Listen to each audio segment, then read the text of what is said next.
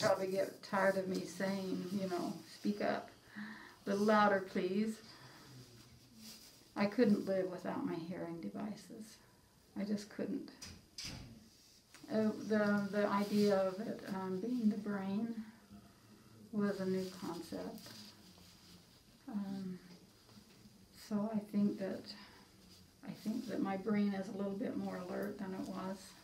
I I like the fact that um, a computer can um, help in diagnosing and in fixing um, what needs to be fixed. I, I really like that.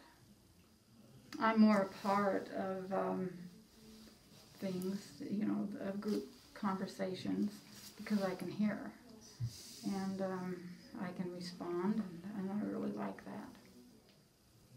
I would say that um, you need to get the help that that you can afford.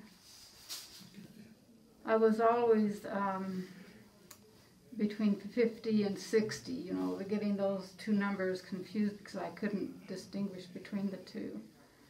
And so now I can.